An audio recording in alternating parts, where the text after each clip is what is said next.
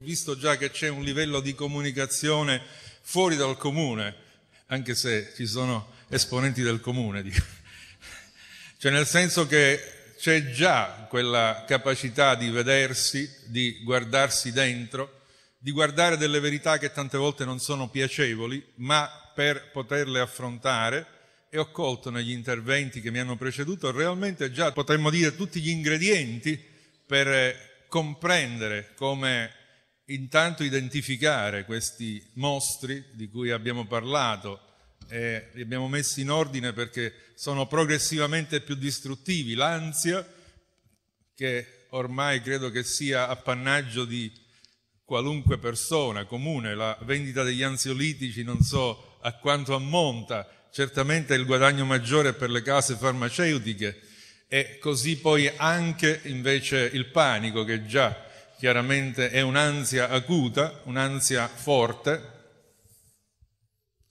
Preferisco il volume basso perché acusticamente è meglio.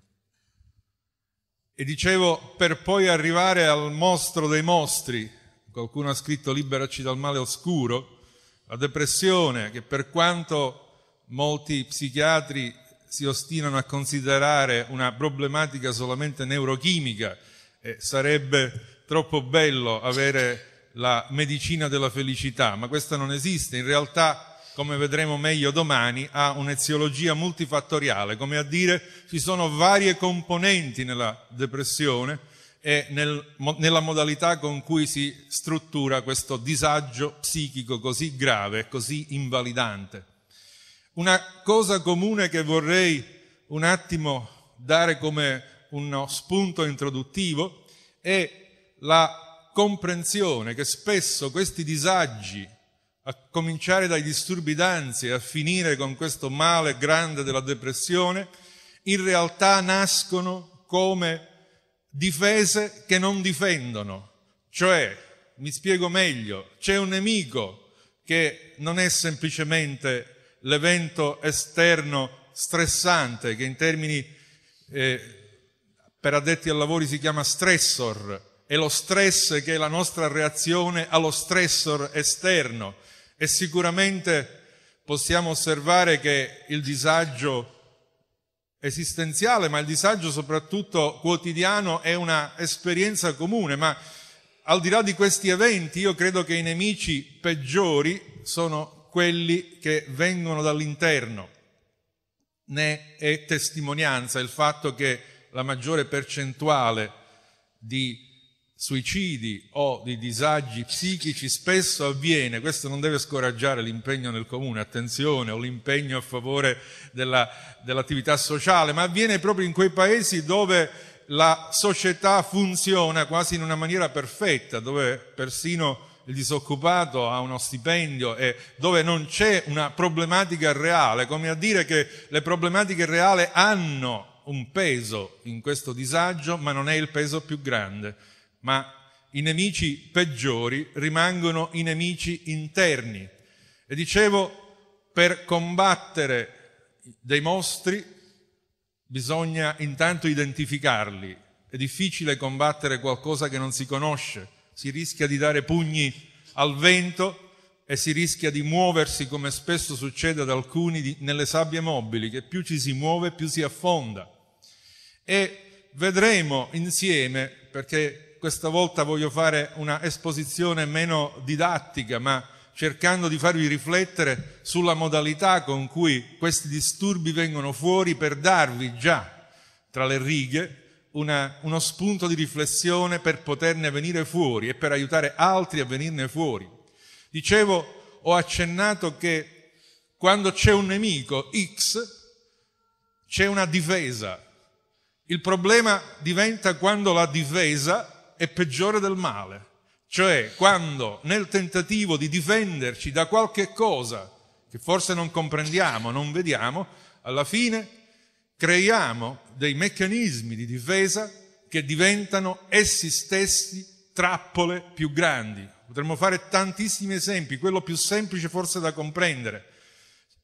C'è una paura ancestrale dello sporco, è sicuramente con una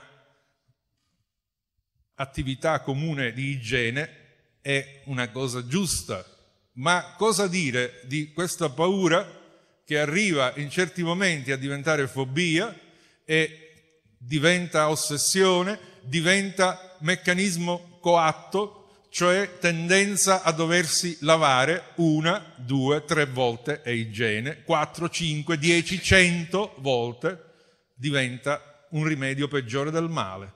Come a dire, quella paura profonda che non è soltanto dello sporco nel senso fisico, perché tante volte quello che viviamo a livello epidermico è espressione di paure più profonde e che purtroppo siamo molto abituati a superficializzare, a somatizzare, potremmo dire in un altro termine, quelli che sono problemi più profondi. E allora tante volte dalla paura dello sporco ci si difende lavandosi, ma capite bene che quando si soffre di un disturbo ossessivo compulsivo, con una fobia dello sporco, praticamente si trasferisce la propria residenza nel bagno, a parte tutti i problemi alle mani, eccetera, eccetera.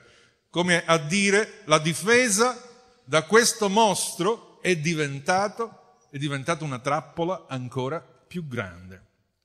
E scopriremo insieme che la maggioranza dei disturbi psichici, del disagio psichico, dal disturbo d'ansia più semplice generalizzato, cosiddetto GAD, disturbo di ansia generalizzato, alla depressione, derivano State attenti, questo ci ritorneremo, però vi do già un pensiero che vi porta a riflettere.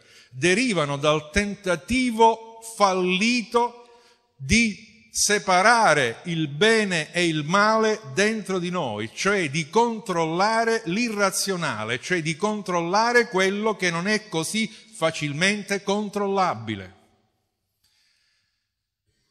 Tant'è vero che poi questi disturbi sono più frequenti, lo vedremo specialmente per la depressione, ma anche per i disturbi ossessivo-compulsivi, nelle persone che si creano problemi nell'esprimere l'aggressività. Cioè non quelli che creano problemi agli altri, aggredendo direttamente, ma tutte quelle persone che hanno un controllo esagerato, un controllo fortissimo sulle proprie pulsioni, sulle proprie spinte, per cui da qualche parte queste spinte irrazionali, se sono solamente addomesticate, da qualche parte devono andare a colpire. E allora capite bene, anziché rompere il collo a qualcuno, ci rompiamo il colon. Anziché portare una vendetta, probabilmente aumentano tutti quei meccanismi che favoriscono l'ulcere, anche se oggi ci sono gli inibitori di pompa, per cui chiaramente si può anche curare, in realtà la rabbia repressa produce dei danni nel nostro organismo che chiaramente andrebbero identificati e curati diversamente. Quindi, ripeto, la maggioranza dei problemi psichici, vedremo, deriva dal tentativo fallito di controllare quello che non è facilmente controllabile cercando di reprimerlo, cercando di sublimarlo, cercando, ci sono tante modalità. La nostra mente, sapete, ha una grande capacità di difesa e questi meccanismi di difesa mi riportano alla Genesi, cioè il libro dell'origine un po' dell'uomo, e troviamo lì, può sembrarvi strano, già il significato profondo di questa difesa di questo tentativo di coprire quella nudità di cui si parlava, quel vuoto, tentativo purtroppo che spesso fallisce. C'è un verso, ve lo leggo direttamente, che dice così in Genesi 3:7. Allora si aprirono gli occhi di entrambi e si accorsero che erano nudi. Unirono delle foglie di fico ne fecero delle cinture. Poi udirono la voce di Dio il Signore, il quale camminava nel giardino sul far della sera e l'uomo e sua moglie si nascosero dalla presenza di Dio il Signore fra gli alberi del giardino. E qui andiamo a questa verità ancestrale della paura che vi darò una brutta notizia. Non ci sono le persone paurose e quelle coraggiose. Nel profondo di ogni essere umano c'è una paura. Poi chiaramente c'è un'elaborazione diversa che ognuno di noi ne fa. C'è chi per paura aggredisce, per esempio, c'è chi per paura fugge, c'è chi riesce a elaborare delle difese di un certo tipo per sfuggire, anche se rimane presente. C'è per esempio chi si fa venire una crisi isterica di fronte a situazioni di conflitto dove non sa che fare. Ma non ci sono persone coraggiose, quindi questa sera è un incoraggiamento per te, come a dire, se hai paura non sei un caso eccezionale, sei un caso comune. Se a un certo punto della tua vita scopri che dietro quella parvenza di persona invulnerabile, indistruttibile, inamovibile, scopri una persona fragile, debole, paurosa, non hai scoperto nessuna verità tremenda, ma è la verità di ogni essere umano. Il problema è come elaborerai come gestirai questa paura che farà la differenza nella tua vita. Quindi dicevo, qui c'è quel, quella definizione iniziale di quello che c'è nell'intimo di ogni essere umano. Al verso 9 è scritto, Dio il Signore chiamò l'uomo e gli disse, dove sei? Ed egli rispose, ho udito la tua voce nel giardino e ho avuto paura perché ero nudo e mi sono nascosto. Guardate un poco, in questi pochi versi cogliamo questa verità tremenda che c'è nell'intimo di ogni essere umano.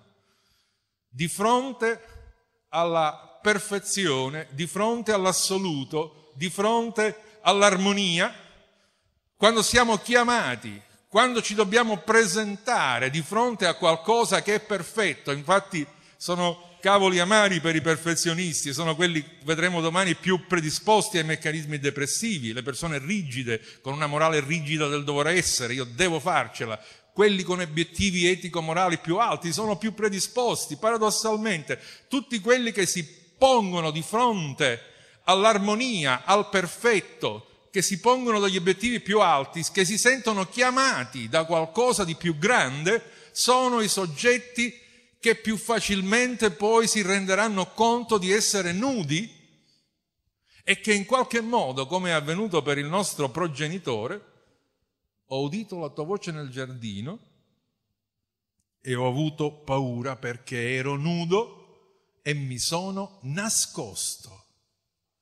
In questa espressione troviamo quello che è un po' la base della psicologia, che in qualche modo poi gli scienziati eh, psicoterapeuti, psicanalisti hanno scoperto secoli dopo, cioè di questa difesa profonda dell'io, di questa difesa in cui cerchiamo di nascondere agli altri, ma non solo agli altri, soprattutto a noi stessi, delle verità spiacevoli, delle realtà che non ci piacerebbe scoprire, perché nel momento in cui le scopriamo dov- dovremmo affrontarle. E allora qualche volta diciamo stendiamo un pietoso velo, ma nel momento in cui stendiamo un pietoso velo, nel momento in cui cerchiamo di addomesticare, nel momento in cui questi meccanismi di difesa non funzionano, e vi sembrerà strano, i meccanismi di difesa funzionano meno nelle persone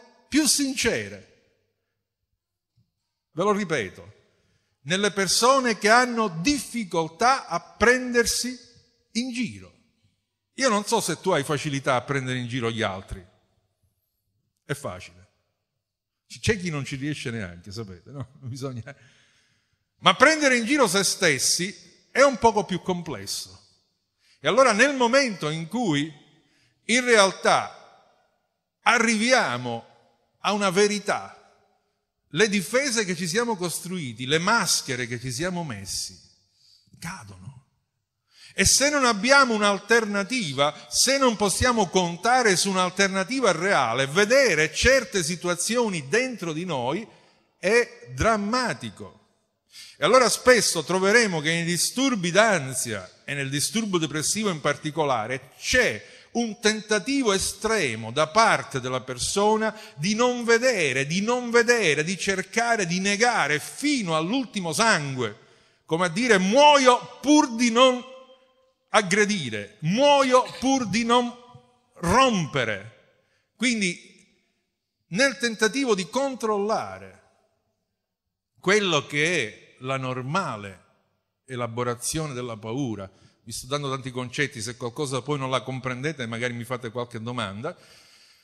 Quando si vive questa paura ancestrale che abbiamo detto essere caratteristica di ognuno di noi, cosa pensate che nasce nella psiche dell'uomo nel momento in cui vive la paura? Da una parte si subisce. Se viene un, eh, un malfattore e ti punta la pistola e ti dice dammi il portafoglio, da voi succede? A noi succede a Palermo. No, da voi non succede, no. Cosa fate voi normalmente? Se siete degli esseri abbastanza di buon senso, prendete il portafoglio, glielo consegnate, diventate gentilissimi, dice vuole pure, dice guardi c'avevo ancora qualche cosa qua, vuole, dice vuole le chiavi della macchina, con questo sta sparando. Eh. E sul momento sembra che una cordialità, una gentilezza estrema viene fuori chiaramente come istinto di conservazione, come modalità per conservare la vita.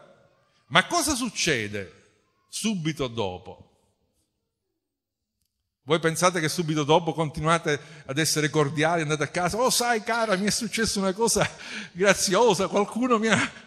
No, subito dopo viene una rabbia, una violenza, che chiaramente in quel momento avete controllato perché non era il caso di esprimerla, perché probabilmente avreste avuto la peggio, con una pistola davanti. A meno che non siete esperti di karate o di qualche arte marziale che disarma il vostro avversario, ma subito dopo qualunque persona viene schiacciata da un meccanismo di paura che la costringe a delle performance che sembrano di adattamento, ma in fondo non è così, genera un livello di aggressività che voi non avete idea di quanto può essere grande.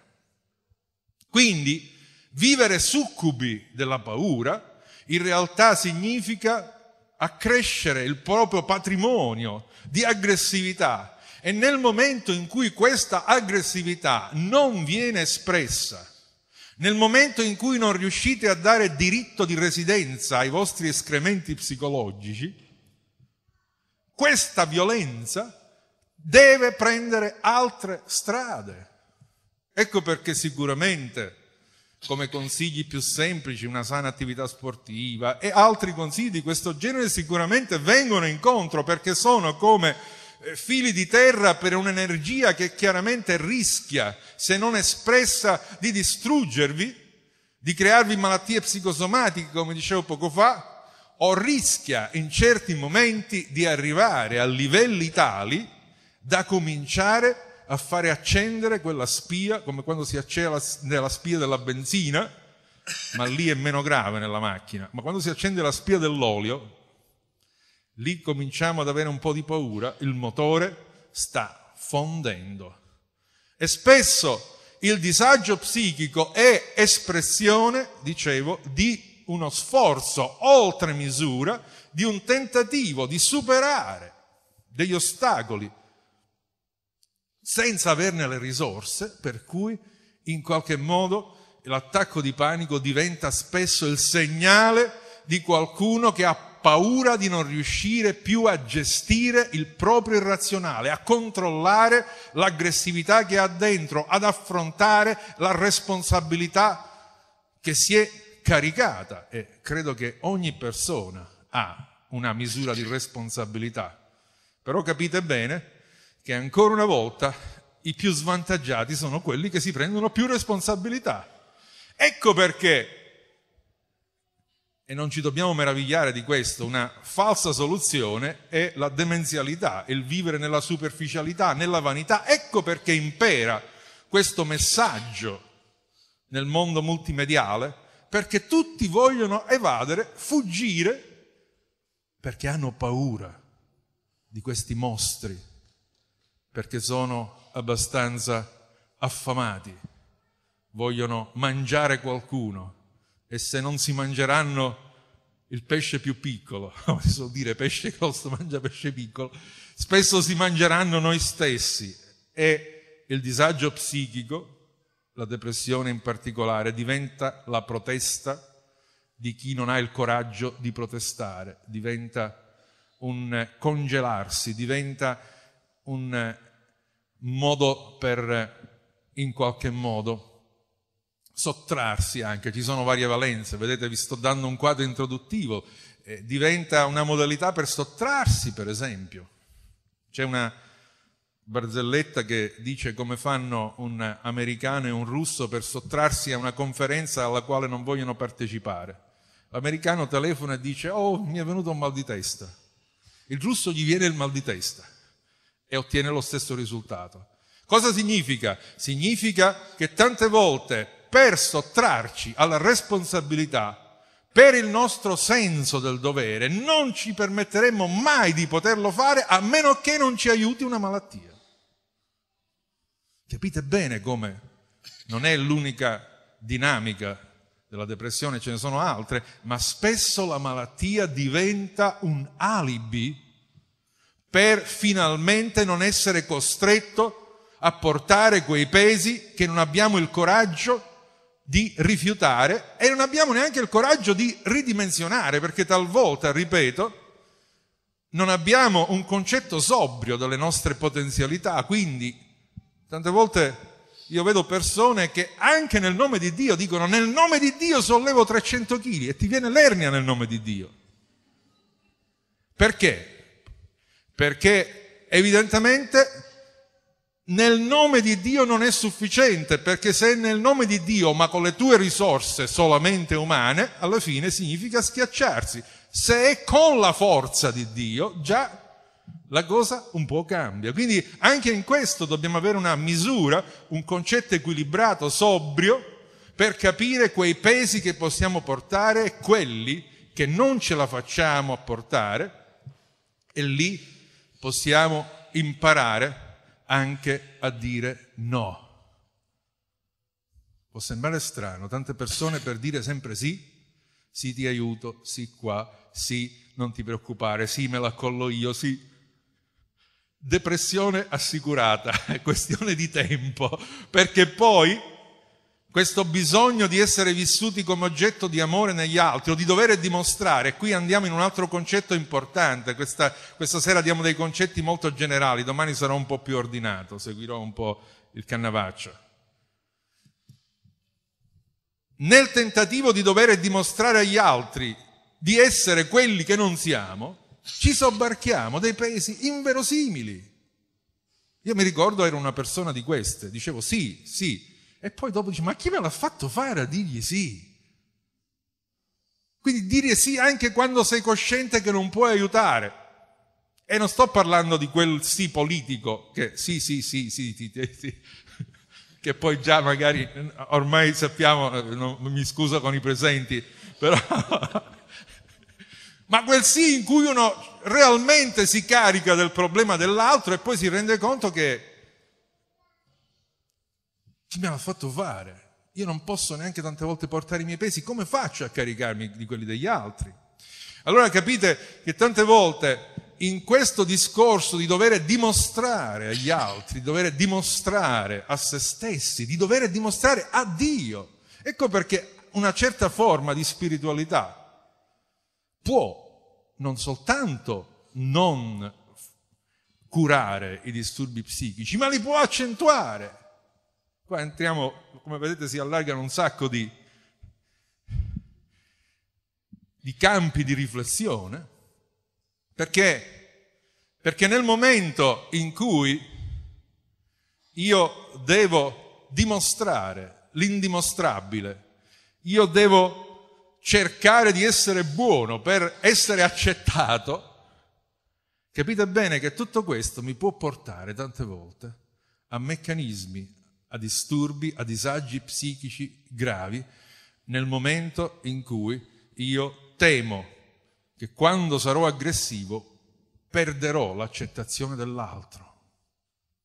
Sapete perché tra mariti e moglie si esprime di più la realtà di aggressività? E per sapere bene, conoscere bene me, non dovete basarvi su quello che vedete, dovreste chiedere a mia moglie perché lì dove ci sentiamo già accettati e accolti, Noi siamo molto più spontanei, non abbiamo tutti quei meccanismi di difesa per nasconderci e quindi dicevo, scopriremo domani in particolare che quando viviamo una teologia della grazia, io la chiamo in questa maniera, e allora questa teologia è capace di guarire il disagio psichico. Quando invece siamo incappati in quell'arduo compito di dover convincere Dio che siamo buoni, non vi dico quello che può succedere, non vi dico i disturbi ossessivo-compulsivi che possono nascere e spesso dimmi la teologia che hai, ti dirò la patologia più facile dal punto di vista psichico. Perché? Perché ancora una volta, dovendo salvarci da soli, dovendo controllare, dicevo all'inizio, l'incontrollabile, siamo più predisposti poi a questi meccanismi, a queste difese non reali. Non so che che ora abbiamo fatto? Pino, posso andare un altro po'? Sì, sì. Posso andare un altro po'? Perché io quando parlo non mi dimentico del, del tempo. Dicevo, per darvi una definizione breve, così a honoris causa, i disturbi d'ansia principalmente si distinguono in fobie specifiche, cioè in paure particolari collegate a un oggetto, anche lì è un'illusione, perché è come se la persona riuscisse a illudersi che la sua paura è collegata solo a quell'oggetto, per cui basta essere a distanza debita da quella situazione per sentirsi coraggiosi. In realtà anche questo è un blef, per cui non bisogna semplicemente convincere la persona che quella situazione non è pericolosa, bisogna andare ancora lì alla paura ancestrale, andare alla paura che c'è di fondo e che magari si è collegata a un oggetto e il collegamento all'oggetto è, qualcosa di particolare perché può diventare un handicap tremendo. Ricordo una professoressa di matematica che ho visto qualche tempo fa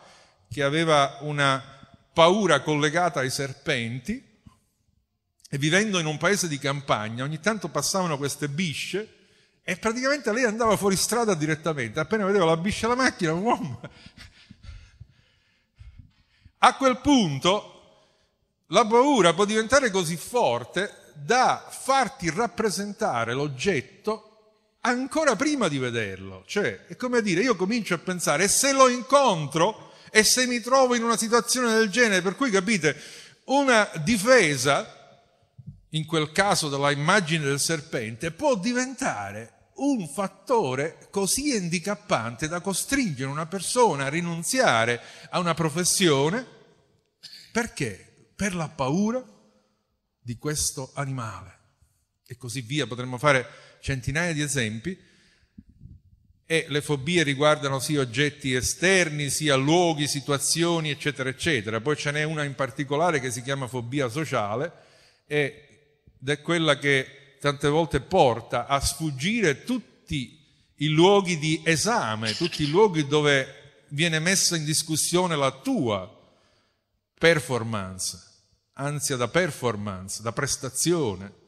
E la fobia sociale credo che è un male che sta realmente portando un sacco di persone a non seguire più corsi eh, universitari, a non seguire perché sono così impaurite di sostenere un esame, che poi l'esame, io quando facevo esami dicevo mamma mia, tremendo, tremendo, finalmente quando ho finito l'ultimo esame della specializzazione in psichiatria ho detto ah, oh, finalmente non faccio più esami, ma non ho visto che gli esami veri dovevano cominciare dopo, gli esami universitari erano una stupidaggine nei confronti degli esami della vita che ci confrontano ogni giorno. Però dico la paura di sbagliare diventa, la paura di non essere accettati diventa un mostro così grande da paralizzare. Ma vedete ancora una volta il fatto di dover dimostrare, di non essere consapevoli di avere un valore, ci porta a ritirarci e poi la fobia sociale porta al ritiro sociale.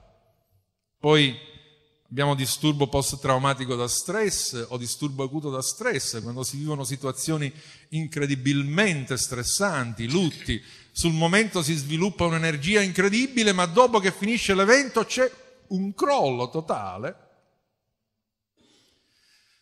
E non voglio spendere altre parole su questi. E poi c'è quella che abbiamo chiamato GAD, disturbo d'ansia generalizzato, che potremmo definire la paura della paura è questo stato di allarme continuo che fino a un certo punto è una protezione. Certo, stare attento al semaforo se è rosso o verde è un'attenzione ansiosa importante, positiva. Ma quest'ansia che in piccola parte è un evento protettivo, è un'attenzione nel momento in cui supera, e oggi purtroppo supera di gran lunga le valenze protettive, diventa paura, aspettazione continua di un evento che da un momento all'altro venga e ti distrugga e, ti, e comprometta la tua vita, che sia il crollo delle azioni in, in borsa, che sia non so che cosa, una aspettazione ansiosa di qualcosa di tremendo che da un momento all'altro ti colpirà. E capite bene che se oggi ci guardiamo intorno, bisognerebbe chiedersi anzi com'è che non c'è più paura, perché se ci riflettiamo bene, non soltanto gli aerei cadono, le navi affondano, i treni deragliano, le macchine, ma anche i pedoni da noi sono usati così come birilli, o anche qualcuno che si chiude in casa, cosa dire delle fughe di gas, dei, degli aerei che possono cadere, delle, delle radiazioni elettromagnetiche, se poi andiamo a vedere quello che mangiamo, ma guardate che se fossimo ancora più lucidi dovremmo vivere nell'ansia continua e costante perché realmente il pericolo è in agguato e non esiste un luogo da dove non essere minacciati, quindi capite bene che la soluzione non è cambiare posto, non è cambiare casa, Qualcuno dice io fino a che sto in questa casa non ci posso stare, questa casa no, è questa casa che... Problema non è il luogo. Io ero una di queste persone, dicevo ah è questo luogo, è questa compagnia, è questo lavoro e cambiavo posti. E poi il problema che mi sono accorto che il problema ero io, quindi dovunque andavo mi portavo dietro il problema, tranne il beneficio iniziale che, di quando uno cambia, la componente che faceva la differenza, era la mia vita. E io dicevo, no, non lo dicevo, ma ve lo sto dicendo ora, per tanti anni ho vissuto disturbi d'ansia, come un po' nel primo capitolo del libro che è autobiografico, per tanti anni ho vissuto meccanismi depressivi, quindi ho dovuto vincerli dentro di me. E solamente per questo mi sono anche incoraggiato a poterlo esprimere nella professione perché non stiamo parlando dell'aspetto semplicemente farmacologico, perché è molto semplice dare un farmaco, ma è molto più difficile condurre una persona alla comprensione che forse è un modo di vita che produce il disagio, quindi bisogna mettere in discussione il proprio modo di vita. Noi vorremmo un'anestesia della coscienza ed è grave tante volte come i farmaci vengano usati come agenti decolpevolizzanti, come a dire grazie al... non lo so, non voglio fare un nome di casa farmaceutica, grazie al citalopram, grazie alla paroxetina, grazie la prostituta del Bronx potrà continuare a vivere la sua vita così senza crearsi nessun problema. Grazie? No, no grazie. Cioè, se il farmaco deve diventare un'anestesia della coscienza, se un farmaco deve diventare qualche cosa che copre la conseguenza di uno squilibrio di vita, del fatto che ci diamo la testa contro il muro e non vogliamo farci male, il farmaco deve darci un'anestesia, non va. Certamente comprenderemo domani che il farmaco ha una valenza importante, ma non è il rimedio unico per il disagio psichico. Troverete molti miei colleghi che vi dicono è l'unico rimedio, però cosa? Anzi c'è una barzelletta la differenza tra un nevrotico, uno psicotico e uno psichiatra, la sapete? Il nevrotico costruisce castelli in aria, lo psicotico li va ad abitare e lo psichiatra riscuote la pigione. non è bella per gli psichiatri, però è bello fare un po' di autoironia ogni tanto. Cioè, no, non è bene, chiaramente, arricchire sul disagio degli altri, o meglio, è importante poter preoccuparsi di dare delle soluzioni che non siano semplicemente stampelle momentanee, come vedremo domani. La, l'uso dei farmaci sicuramente ha un'importanza, una valenza, può fare evolvere il disturbo in una certa maniera, ma non deve essere scambiato come unica soluzione a un disagio che è qualche cosa che dipende da una modalità di reazione e di gestione della realtà.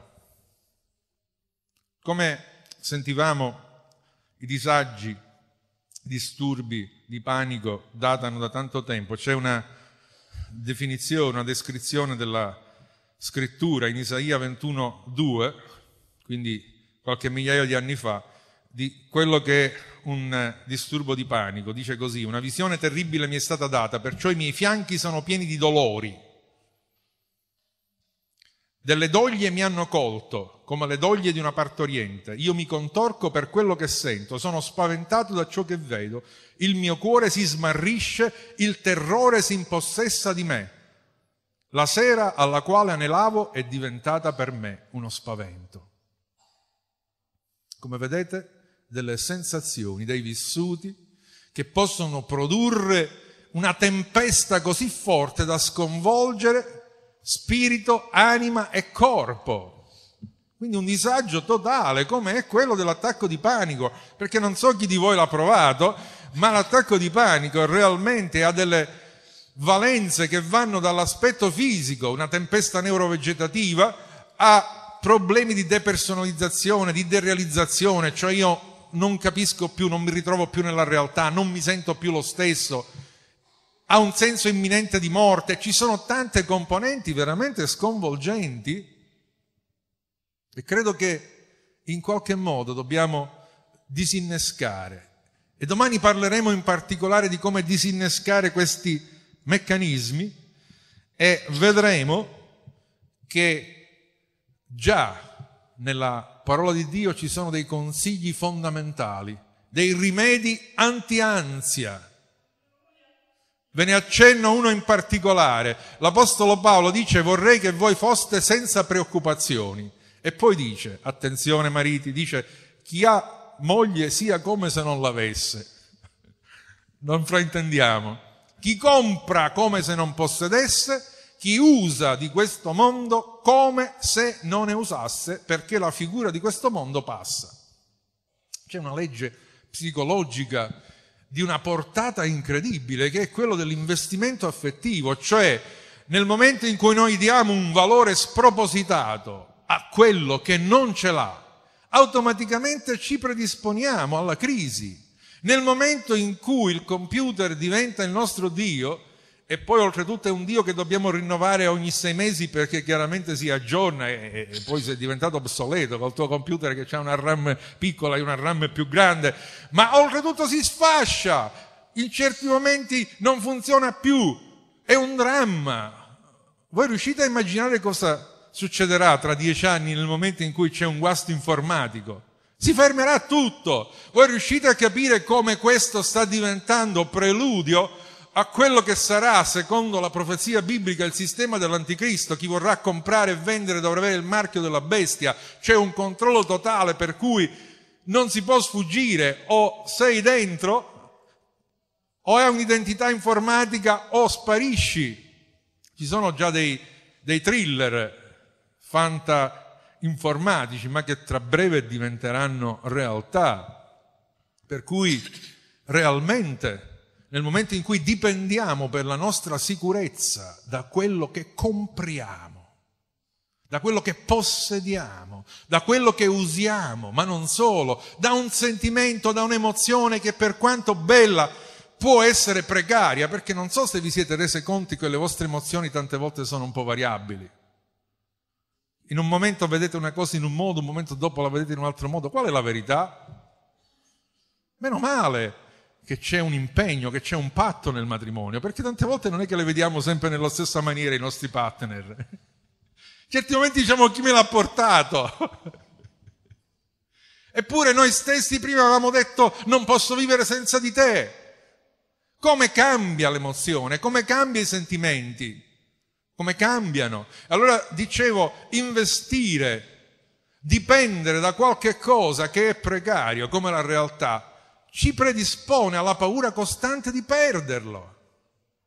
E voi scoprirete che la soluzione, lo vedremo meglio ancora domani, ha a che fare con la scoperta di una realtà immutabile. Ma che non significa che viviamo sulle nuvole, come i discepoli un giorno quando Gesù era sul monte della trasfigurazione disse ci facciamo tre tende qua, stiamo benissimo. No, ma significa che possiamo vivere in questo mondo, nel quotidiano, con delle radici, con delle certezze più forti, più profonde, che non possono essere messe in crisi. Questo è un segreto. E quindi scopriremo un poco che il rimedio, l'antidoto, al di là della benzodiazepina, del Valium, per dire quella più conosciuta, o l'exotanotavoro, quello che volete, l'antidoto alla paura è qualche cosa che ha un effetto diverso, che si chiama fede fiducia, fiducia in un progetto.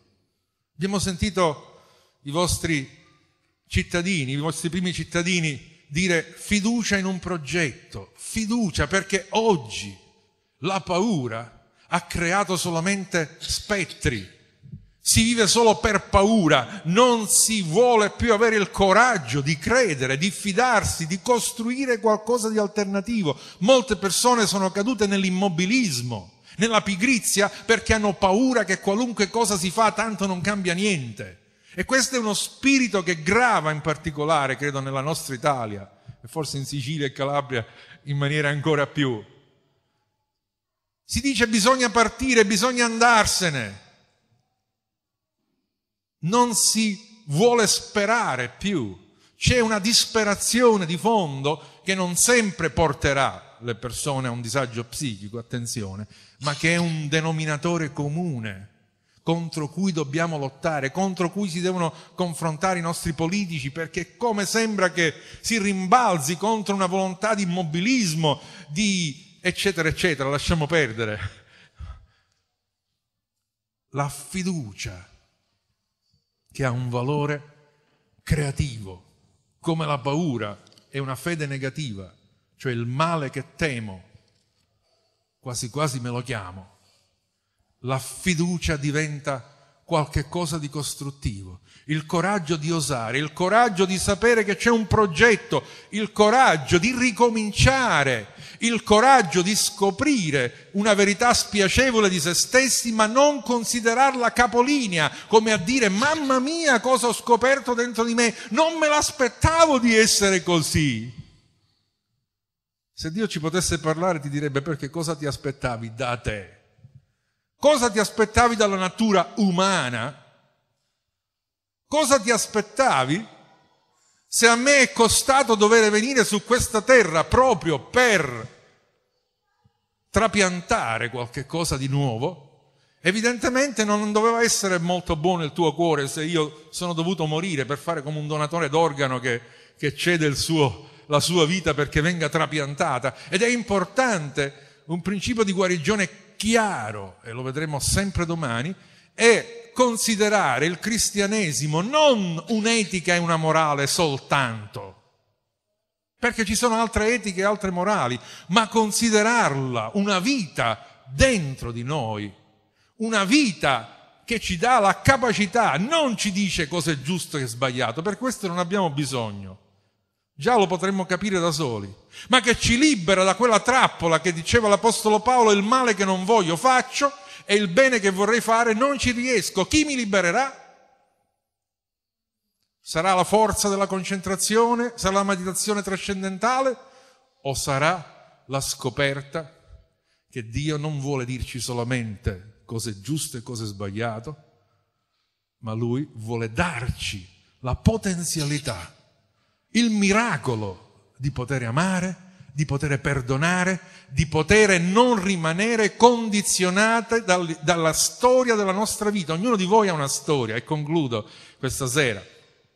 Permettetemi la, la, la vena predicativa. Ognuno di noi ha una storia che poi si è concretizzata in disagi vari. Io guardando le vostre facce vedo in ognuno di voi veramente delle battaglie incredibili per rimanere in piedi, per non disertare. Quando dico disertare non perché siete nell'esercito, ma per rimanere lì a combattere, per rimanere nella vostra famiglia guardando sempre la stessa faccia del marito che non è cambiata e, e il comportamento, per rimanere lì sulla breccia dell'impegno sociale, per rimanere lì dove veramente vi verrebbe di scappare, per superare delle percezioni di miseria, di difficoltà, dove avete scoperto una fragilità che non pensavate e prima forse giudicavate gli altri, diceva ah io certe cose non le potrei mai fare, non le potrei mai pensare, poi quando avete visto che avete la stessa potenzialità negativa, magari siete rimasti scioccati e avete cominciato un processo e un meccanismo di colpevolizzazione, autocondanna, autopunizione, me la faccio pagare perché non sono stato la moglie che avrei voluto. Ma c'è la vostra storia nei vostri occhi e tante volte c'è come una rassegnazione, c'è un lottare sterile, c'è una paralisi, c'è un fatalismo. E io credo invece che lì dove possiamo scoprire che l'ultima parola non è data all'umanesimo, ma è data al cristianesimo. Cioè dove l'umanesimo arriva e dice io più di qua non vado. Dove l'uomo dice basta, la mia pazienza è finita, ormai sparo contro tutti. Lì può subentrare la scoperta di un'energia superiore. Questa è l'esperienza della mia vita. Io pensavo prima di amare tutti, sembravo, mi sembrava di essere un buono, avevo un fratello che faceva l'anarchico, il tossicodipendente, con grandi sofferenze per la mia famiglia, evidentemente, mio padre è pure psichiatra, sono quindi psichiatra, figlio di psichiatra. Quindi. E io pensavo che lui era il cattivo e io ero il buono, perché io mi controllavo, io ero sempre sorridevo, facevo luce alla gastrite, pesavo 30 kg di meno. E poi ho dovuto scoprire che dietro questa mia parvenza di buonismo, di perbenismo, c'era rabbia, violenza, paura, mascherata. Ma lì nel momento in cui ho potuto comprendere che non dovevo sforzarmi di cambiare perché avevo cercato una vita di sforzarmi ma non ero riuscito che a coprire, mettere una maschera, lì scoprendo il cristianesimo non quindi come una dimensione etico-morale, una legge che mi costringeva e che mi diceva che dovevo essere buono, ma scoprendo un Dio che mi ha detto, eh, hai scoperto di essere cattivo,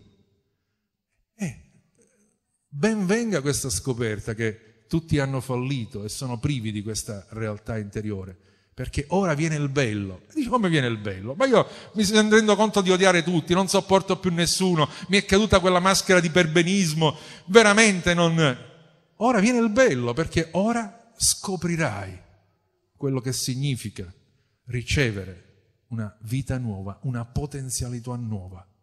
E per me è stato un miracolo perché dalle ceneri di tutti i miei sforzi di dimostrazione a me stesso, agli altri, di buonismo, di perbenismo, è cominciata a venire una libertà di amare, di perdonare e di essere liberato progressivamente da tutti i miei disturbi d'ansia e depressivi. E di questo ringrazio Dio e voi questa sera che mi avete ascoltato.